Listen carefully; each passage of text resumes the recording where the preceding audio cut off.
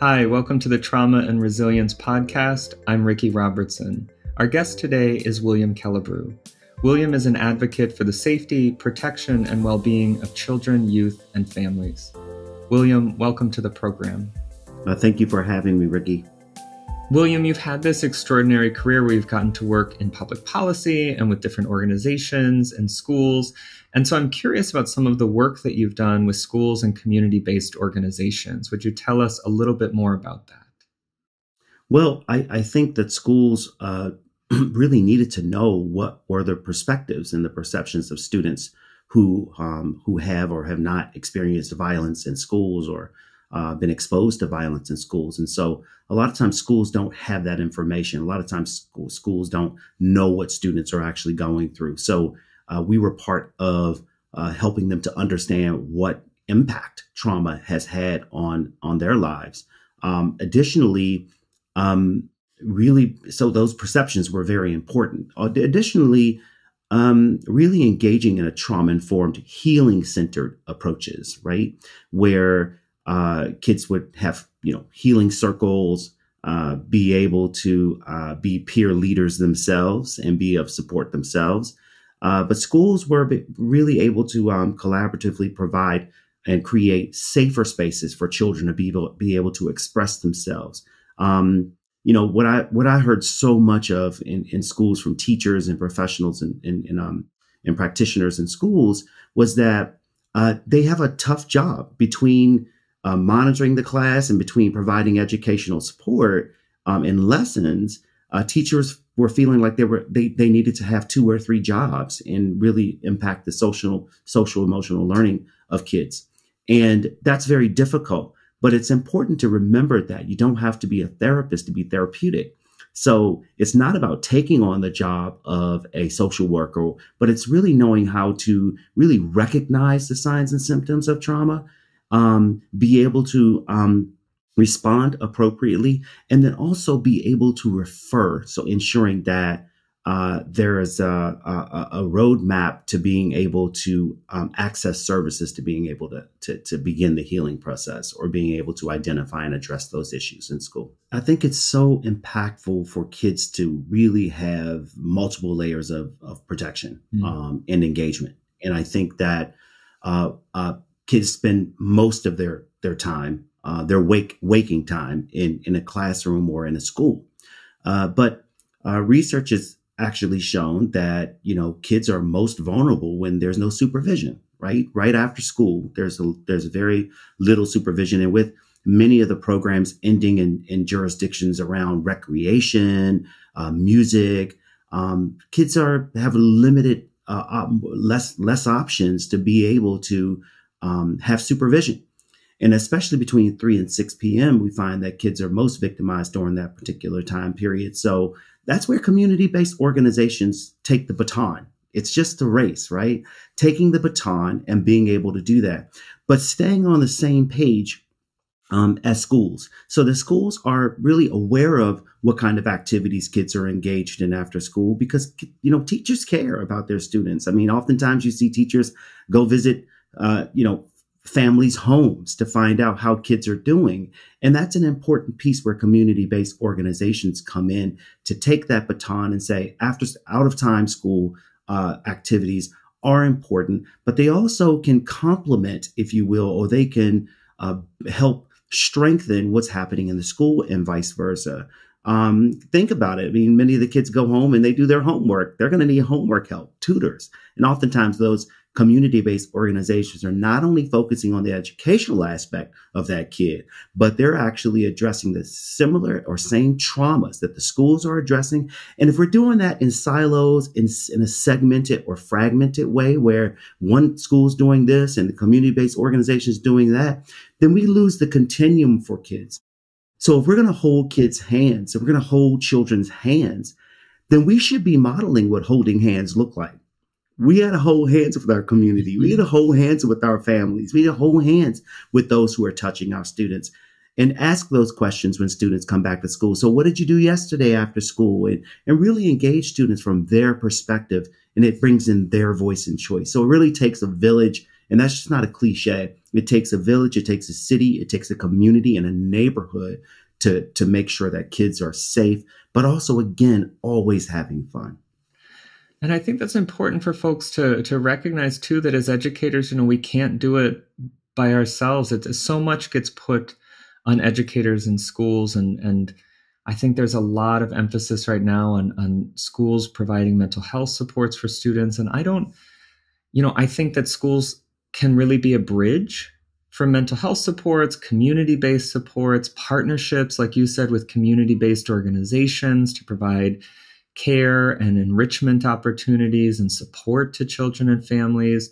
It really is something where schools can be part of a community of care, but they can't take all this on themselves. Yes. And so looking for those opportunities within your community to be a bridge between the school and community-based organizations or maybe other you know uh, agencies or, or different supports for children and families seems so so important to support the well-being of really the entire community and and the the role a school can yeah. play in that yeah i completely agree with you you know not every child is in school you know we often work with opportunity youth uh, in, in in many aspects people um, have termed that transitional age youth right those those young people who are maybe 17 or 18 years old and going on to 21.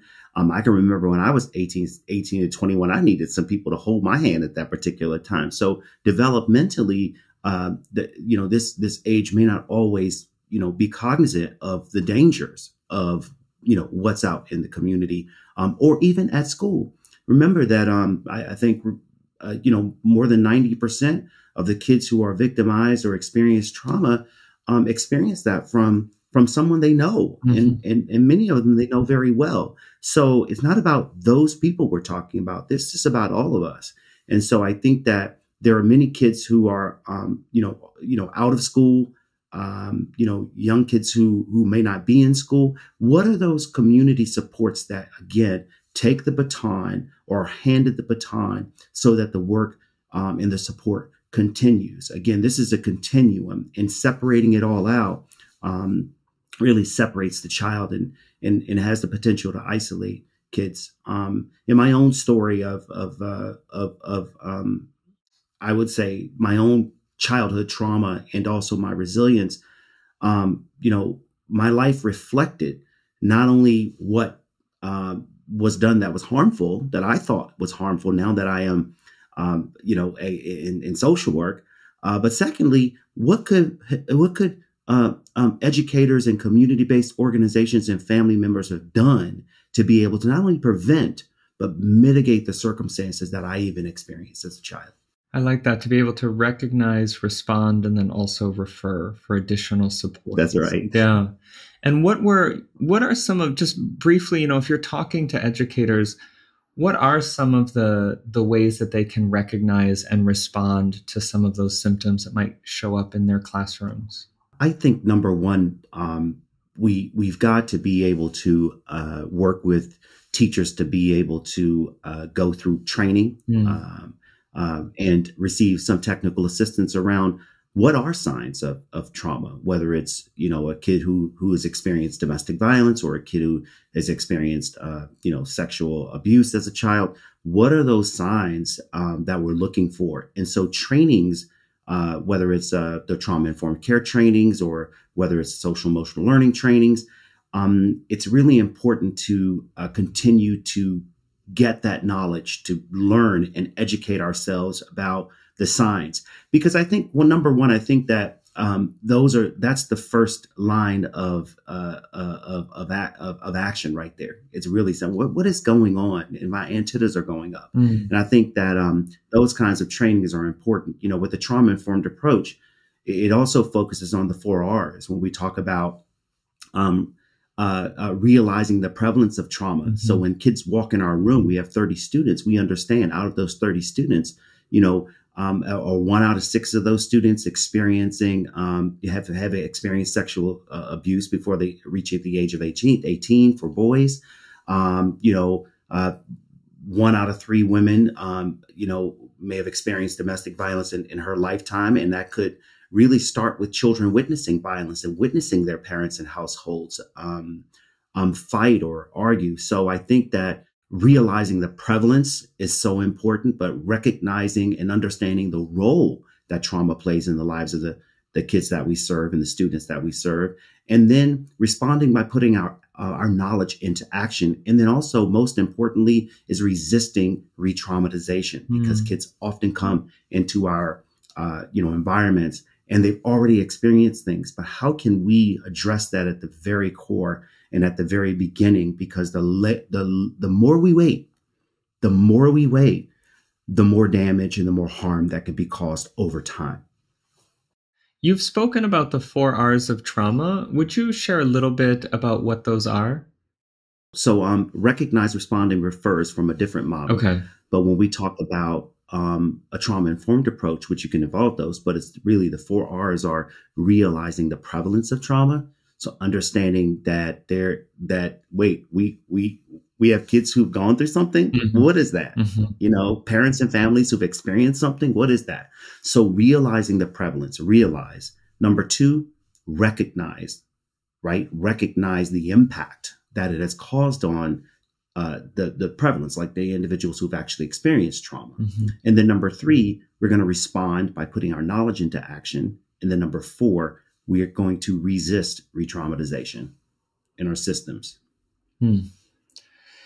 in our care. And I think about you know responding in ways where we're building that relationship, we're creating structure and routine, we're providing that sense of belonging and safety in our classrooms I think educators can also respond in ways where they help students to build those skills to manage difficult emotions and just feel safe enough to be able to talk and share and receive additional support as needed in their buildings.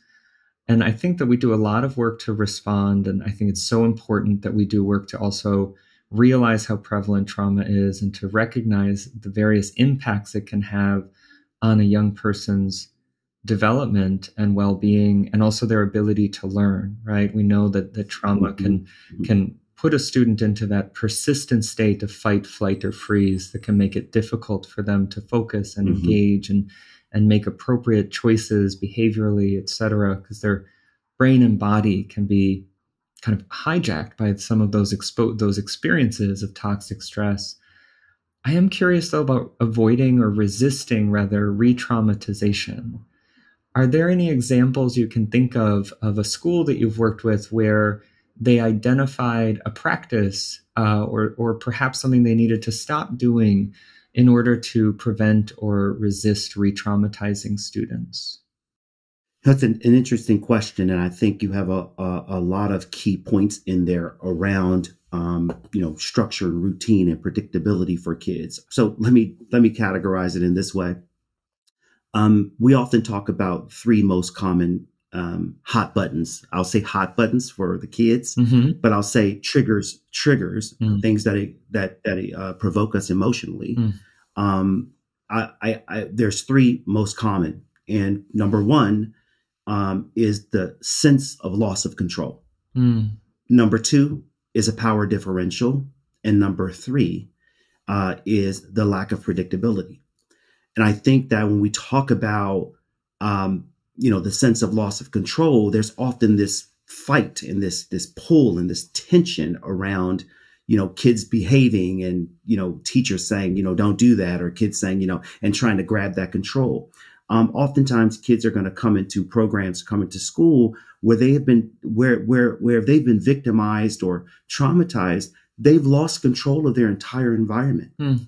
and so they're they're trying to gain that control. And so in classrooms, that might look like, you know, uh, leaning in the chair and, and, and just going back, right. And trying to, you know, how, um, we've all done it before. I think we've, we've, we've leaned in our chair on the two, on the two back, um, mm-hmm. legs mm-hmm. and we're leaning. Yeah. While it's very dangerous for the kid in many respects, if teachers can see that that kid is trying to actually cope and uh, what Dr. Bruce Perry, Perry often uh, called uh, rhythmic repetitive movement, kids are really trying to trying to, to, to regulate or self-regulate to be able to get to a place of in a sense of control mm. but what happens in classrooms often when that happens so teachers might say stop leaning in there they're absolutely correct in terms of the safety piece but don't overlook the idea that there's a coping mechanism there right so instead of having chairs a uh, one school uh, took away all of the chairs with stands and they actually put rocking chairs in the classroom or chairs that swiveled, right?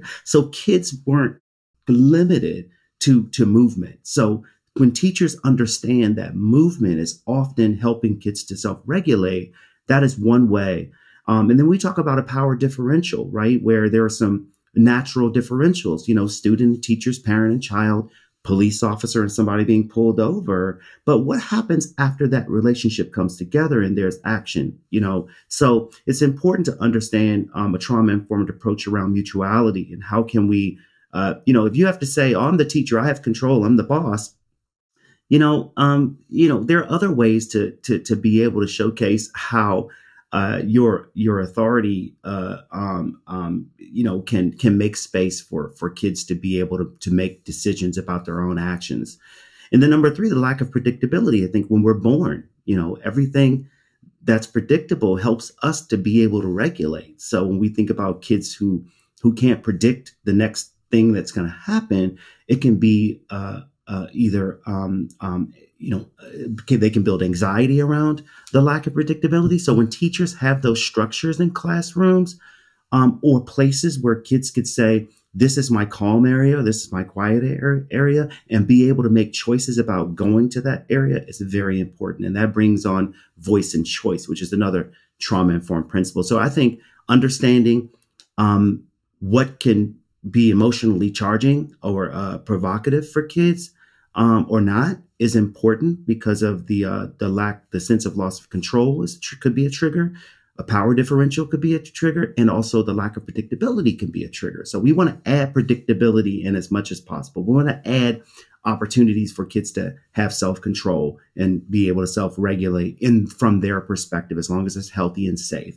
And then, of course, we want to eliminate the the the sense of of I'm your boss, or even when we work, right? So I'm your boss, right? We change that language to supervisor. It's a role rather than, you know, some kind of action that's going to control people that way. So it's important that we understand that very early on. I think that's so powerful. And it makes me think about, you know, it it really is for an educator you know it's it's about us kind of finding that middle ground sometimes right it's not about being right. it's not about being overly strict and it's also not about being permissive it's finding that kind of middle ground of how can I be connected and firm, right? How do I build those relationships, have that empathy, but also provide that structure, that positive accountability. And I think of the work of Jane Nelsen and positive discipline, you know, kind of how do I connect before I correct behavior? Mm-hmm. And I think when you talked about That's right you know the the the power differentials and and you talked about kind of the loss of control that sometimes it really is about noticing the student first before we we redirect the behavior. You know it's great to see you and and you know please take out those earbuds. It'll you know it'll help you learn giving giving the student an opportunity to feel seen before we we rush into Absolutely. you know these are my rules and this is how it's done here. And and providing those appropriate choices as you said which is also so critical. So i really appreciate you though kind of outlining those hot buttons or those triggers so that we can understand how to avoid re-traumatization and how to respond in ways that are really helpful to our students and, and ultimately i think make our jobs easier because then we can avoid as educators some of those power struggles or some of those things that can be really difficult for us too. And as a young person in your experience of trauma were there was there someone whether it was an educator or social worker or someone who who was that that source of support or protection that did step in and kind of do do the right thing or do what was needed in that journey to support you? You know ricky there were that that's kind of sends chill bumps through me because mm-hmm. i think about them you know i'm very grateful for uh, those who actually stepped in. You know my grandmother she she didn't have the the background to, to focus on how do you deal with how do you how do you how do you address trauma in the family. Um you know she was traumatized herself. We we had experienced the the the, the death of my um, mother and brother when I was age ten, and that was very difficult to go through. And she her her strategy was let's just you know get together and keep it a secret. She didn't say those words but she said she didn't want to talk about it. She didn't she felt very embarrassed and you know about you know talking about that and very hurt. It was her only daughter uh, she had sons but that was her only daughter. And so we we used the strategy just forget about it. And i took that strategy to school to fifth grade. I took that strategy to fifth grade. Mm. and i and i remember my teacher um you know uh great great great teacher. But at that time i was doing what experts uh, you know, often uh, uh, say that children under the age of 10 do to be able to cope with trauma. Part of their defense mechanism is dissociation. Mm-hmm. I used to stare off in class all, all, all, all the time, right? Mm-hmm. But I got in trouble. And so one of the things that I uh, focus on is that if we're going to consequence young people, we're going to consequence students, uh, we should understand what they're going through first because we could be consequencing not just an action, but we could be consequencing surviving. Hmm. And that's what we're doing often is consequencing. We should ask ourselves this question. And this is a tool, Ricky, that I talk about. Hmm. And that is if we're going to discipline, if we're going to issue a consequence, we should be asking ourselves one defining and delineating question. And that is, what are we consequencing?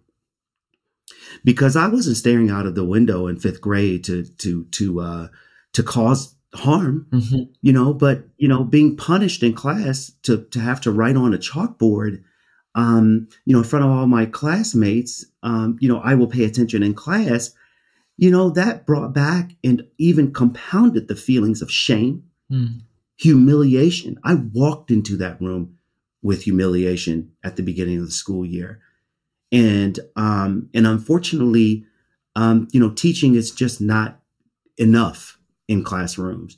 It's about recognizing those signs. Remember, recognizing them, responding appropriately with support, comfort versus control. We say, right? This is the time for comfort because when we see kids staring out of the windows or acting out in certain ways, how do we comfort that child? Because that child could need comfort in that moment because kids aren't learning or they could be in crises. Kids aren't learning in crises, mm-hmm. all right? We comfort first and we teach later. That's what the science tells us. That's what we know. If we can get the child to come back online mm-hmm. to where they're calm and they're able to think. And hey, the teacher's able to think because we teachers get upset too, or you know, parents get upset too, right? So we're all able to calm down. We understand that we comfort first, we teach later because kids are we are not learning in crises. That's a very important point. And so for me, I was in ongoing chronic crises. Hmm. So it was important for teachers to recognize that I probably needed more comfort than anything versus the control that was being placed on me in terms of punishment and consequences. I was surviving the fifth grade and the sixth grade and the seventh grade. And so there were teachers who came through for me. And I'll just say shortly uh, that um, my seventh grade assistant principal, Mr. Charles C. Christian. Um, you know, um, I love this this man. He's deceased today. He died at 94, 96 years old. Hmm. Uh, but when he was in his prime teaching uh, uh, capacity at my junior high school, he recognized one morning that I I was distraught, that I had lost everything, and he could see it in my eyes. And that's when he made that call to my grandmother. And it was the first time that I actually received um, assistance professionally outside of um, you know, Mr. Christian reaching out to me and saying, you know, kid, you look distraught. And he got to my grandmother, and that was my first um, hospitalization actually at 13 years old. But that was three years, Ricky, from my mother's killings mm. and brother's killing mm. to to to getting help. And I I had to I had to stand on a bridge and, and attempt to jump off of a bridge um, because I, I I lost my dignity inside. That's how powerful that was.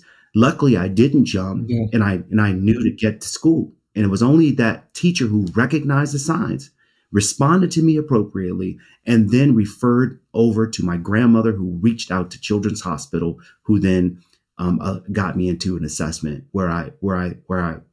It was a start of uh, an amazing journey for me of healing. Hmm.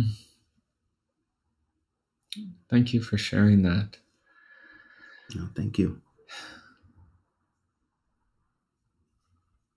I think what what has really hit me in hearing your story and, and hearing that you know this assistant principal stepped in as I think about being an educator feeling overwhelmed by just sometimes the number of students you're teaching or, or sometimes the behaviors happening in the classroom and how important it is for us to find those ways to connect and to comfort and to to build those those points of connection those relationships and how you know if folks are listening i really feel like and and you highlighted an assistant principal i feel like it has to be a whole school effort that every yes. you know everyone in everyone who works in the building has to be focused on because everyone from the custodian to the the paraprofessionals the office staff the principal the administration the teachers everyone in the building has the opportunity to be that person to be that person for a student and it really requires us to be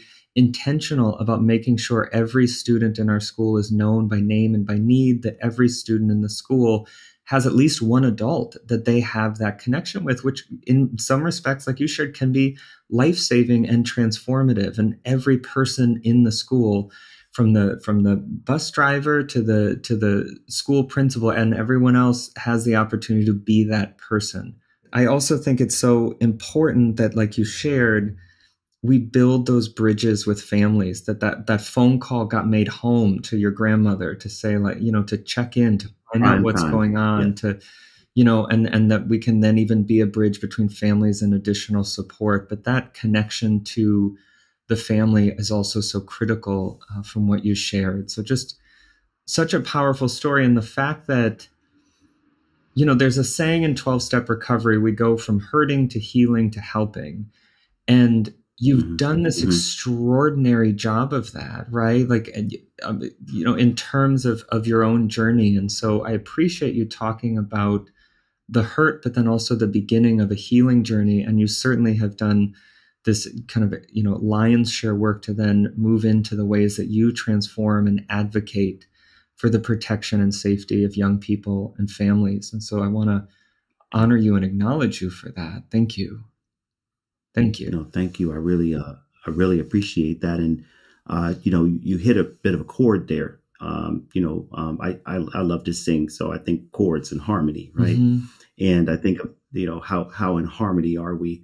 And, um, you know, when I, when I, when I, uh, when I was 13 years old, um, I had my first ever therapist and, mm-hmm. um, my first ever therapist, she was a, an intern social worker now, uh, I'm in the hands uh, on crises in the hands of an intern social worker. So it really, yes, uh, she yes. she made. I, it's like our first day on the I, job. I thought back. I, first day on the job, you got this kid yeah. who witnessed who witnessed the murders of their family members, and you know is in crises yes. and and doesn't even have the dignity and and to be able to crawl to even get to a safe space. Yeah.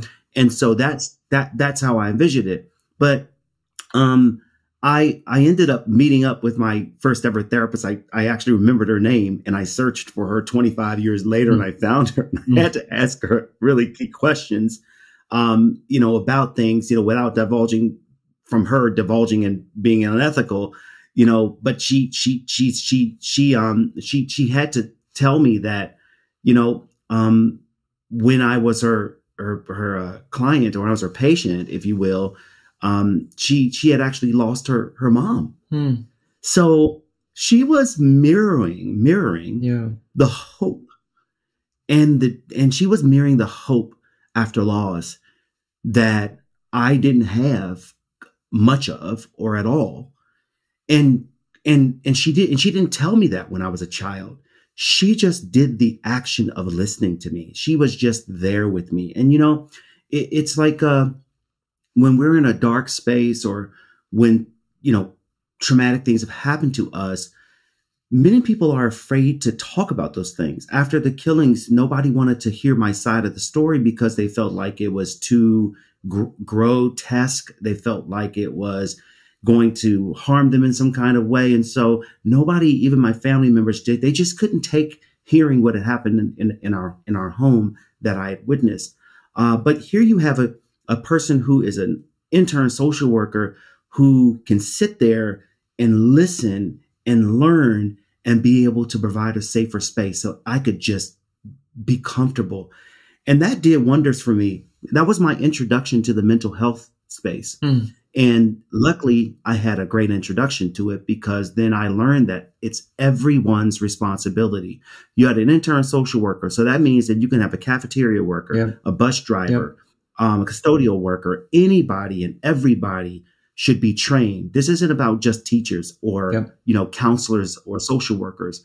Every single person that the child touches yeah. has to be engaged in in in in the child's safety protection and um in, you know in in thriving in life and so what you shared about this the, you know this intern social worker brand new in in the role in the position and she starts by listening and that is something that each and every one of us can do right? It's, it's like you know you've said uh, you don't have to be a therapist for an experience to be or an interaction to be therapeutic right? And so just by beginning with listening or the ways we welcome students to school or or just notice them during the day and acknowledge them or ask how their day is going all these little moments of connection can be so meaningful for a young person to feel seen. I mean i think when you talked about you know you used the word not having the, the dignity to even seek for help or, or to to ask for help or whatever that that might have been and i think that I don't know, something about that struck me because I think that for a kid, right, for a kid, it's like you're like you said, you're you're just surviving. And mm-hmm. Mm-hmm. I think so much of dignity is about for as a kid, I think so much of dignity is about understanding your worth based on how other people treat you and acknowledge you exactly. and see you. And you can't you you you you you have to to make sure that every student is seen really means getting to know them. I think that there's something also in in my own journey there's something also about sometimes the shame that can that can be instilled growing up right? Like i think about you know um i even think about just even i grew up as you know a gay kid in central florida bullied a lot in mm-hmm. school. Mm-hmm. You know, had a fifth grade teacher who was like, you know, right before he sent the class out to recess, he was like, you know, beat Ricky up, it'll make him less of a sissy, right? Like, and just kind of stop, yeah. right? Like, stop trusting teachers. Kind of, it instilled this real. I read a book called uh, "Healing the Shame That Binds" by by John Bradshaw, mm-hmm. and that just awakened me to see all the ways that that I'd had experiences in my life that had somehow diminished my sense of self worth and had me look for that validation outside of myself, whether it was through people pleasing or achieving or trying to, or just feeling uh, unworthy or, or uh, less than in some way. And so I think that, that in hearing you talk, it's like this invitation where our own healing journey can begin with that self acceptance and that when we when we disrupt the comparing and we start to relate to ourselves with more respect for our own dignity and maybe that's self-care you know? I don't know. Maybe that's the first act of self-care my in, is what you know what came to mind. But we also have to engage in systems educational systems um, work systems um, other systems that continue to tell us that we don't exist and that we aren't seen and that there should be shame around who you are, what you believe in, what you do, and it's compounding. Mm. And so I think that uh, yes, we can think about these things ourselves, but there's a lot of responsibility for the systems on the systems to to to be able to shift and change, but also our own supports beyond ourselves. You know, what support systems do we have is so important. William, I think what you said about systems is so spot on and and systems are made up of people and oftentimes really well-intentioned people. You know, I don't think any educator, you know, comes into this profession because they want to work in a system that could potentially exacerbate harm. You know, we we come in because we want to make a difference and we want to do what's right. And a lot of us work in systems that are pretty fraught and there needs to be a lot of work done to transform them. And so I think that, you know, to something that folks can take away is to really like start within your own sphere of influence right if you work within a system whether it's mental health or criminal justice or education you know, starting within your sphere of influence to start to model and advocate for the changes you want to see so that those systems really honor the dignity of both the people who work in them as well as the people that they serve or engage, you know? And so, like you said, that the work is also about systems and, and each of us when we work in those systems can start within our own sphere of influence to try to to advocate and transform them and and to find your people because it's it's going to take a collective effort.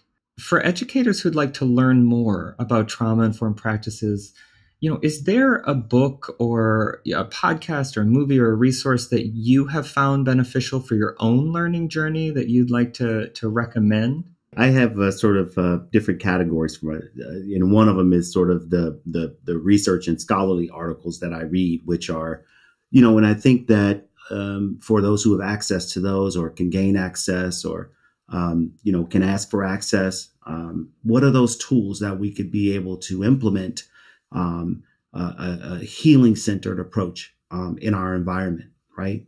And so I, I, I love those things. I think keeping to those scholarly articles for researchers and academics and others who uh, you know are, are, looking at this information that's always good.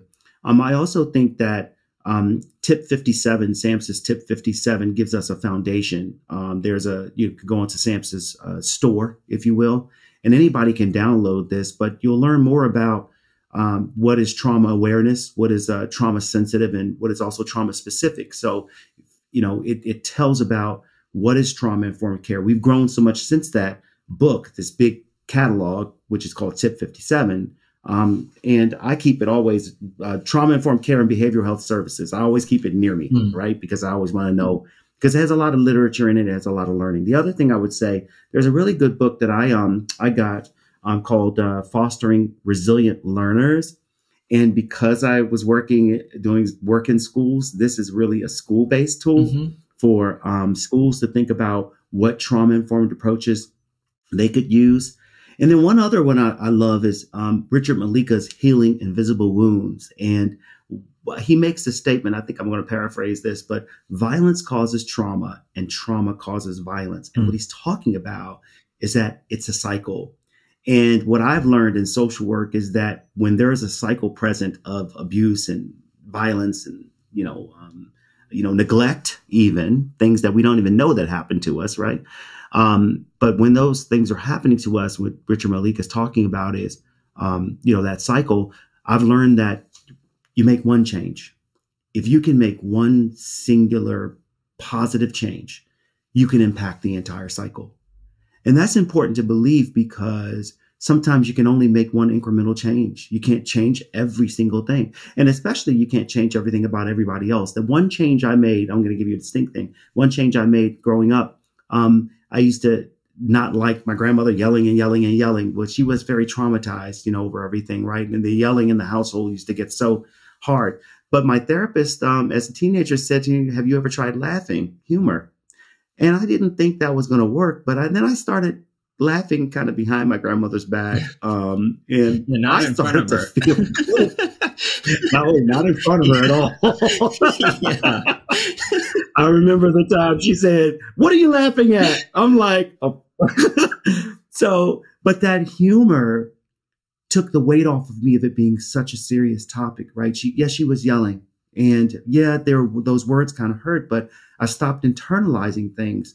Um, and then I started to influence her laughing at certain things. And so um, intergenerationally, my nieces and nephews weren't born yet. But guess what? When they came out uh, into the world, what do you think they started doing? They didn't get upset. In fact, they'll say to me, Grandma's yelling. That's so funny. And they'll start laughing, and she ta- she doesn't take it as seriously as well. So we broke that cycle of hmm. constant, you know, um, um, verbal um excitement hyper excitement if you will respect my grandmother yeah, yeah. on this one yeah. but she did a great job with us but now and now she's mr miss miss miss trauma informed herself you know just mm. in her actions mm. she just just a, a, wonderful lady beautiful so one last question um william what is one of the ways that this work has changed you oh wow You know, Ricky, I've become super aware. Um, I've become super aware of of uh, what can happen when trauma is experienced um, from myself and others. Um, I respond differently. I learn differently. Um, and I cope much differently than I did as a child and, and growing up. I think the biggest thing that it's done for me is it has enhanced my relationships because when when child maltreatment is uh, uh, uh, present, uh, when children um, experience trauma, they can often take those uh, uh, the way that they experience that into adult relationships mm-hmm. where um, where it can be impactful in the way that they they engage.